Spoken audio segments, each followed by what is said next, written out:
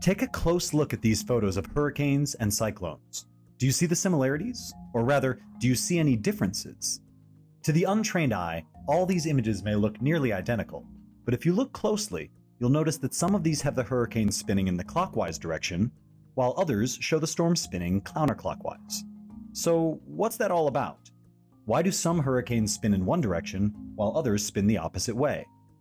You may already know that hurricanes, cyclones, and typhoons are different names for the same natural phenomenon, a tropical cyclone. In essence, they're all very violent storms that originate over oceans and seas and move towards land, potentially causing extensive damage to both life and property.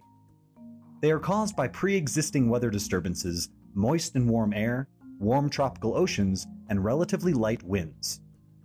Despite essentially being the same natural phenomenon, these storms are given different names based on the geographical region where they originate.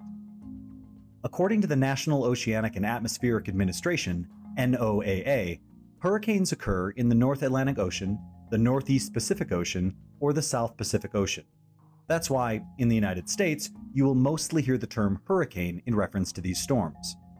Typhoons, on the other hand, occur in the Northwest Pacific Ocean, while cyclones occur in the Southwest Pacific Ocean and most parts of the Indian Ocean. A cyclone originates over warm ocean waters in the equatorial region of the Earth.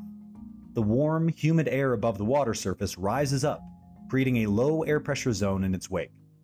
Cold air rushes in to fill this void and then gets heated up, at which point it rises up to form clouds.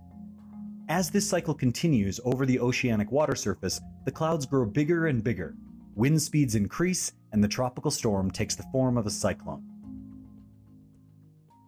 Interestingly, cyclones in the northern hemisphere of our planet spin in the counterclockwise direction, while those that occur in the southern hemisphere spin clockwise.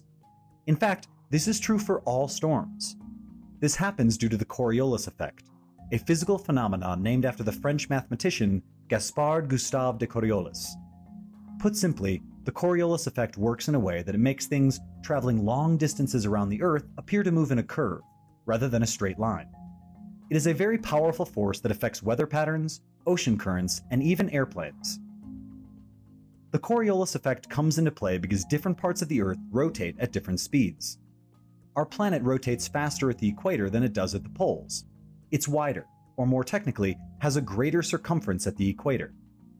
Therefore, in order to complete one rotation in 24 hours, the equatorial regions experience a much higher rotational velocity than other parts of the planet. Standing at Earth's North Pole, if you were to shoot an arrow at a target in the southern direction, towards the equator, the arrow would land west of the target, as the Earth rotates from west to east. However, if you shoot an arrow from the equator at a target towards the North Pole, then the arrow would land east of the target. Similarly, in the southern hemisphere, the arrow shot from the South Pole towards the equator would land west of the target, whereas the arrow shot towards the South Pole would land east of the target. The same thing happens when winds, storms, and cyclones in the northern and southern hemispheres travel from and towards the equator. In both hemispheres, winds traveling towards the equator are diverted towards the west, while winds traveling towards the poles will curve eastward. But due to the presence of low pressure zones, these winds follow a circular path. This is why cyclones and hurricanes in the northern hemisphere spin counterclockwise, whereas those in the southern hemisphere spin clockwise. If you like this video, then please leave your comments below and subscribe to our channel for more animated stories on the science in our lives. Also, don't forget to hit the bell icon to never miss an update from us.